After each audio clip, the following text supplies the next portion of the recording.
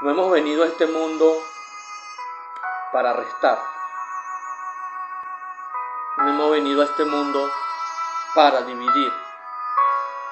Y entonces, ¿por qué lo hacemos? Si hemos venido a sumar, a sumar emociones de felicidad, de ternura, de paz, de amor, de, de tranquilidad, de cosas buenas y a multiplicar los días llenos de bondades, de compasión, llenos de amor hacia el prójimo. Entonces, ¿por qué restamos? No podemos restar, no podemos dividir. Debemos sumar y multiplicar los días llenos de muchas bendiciones. Hoy es un día de multiplicar.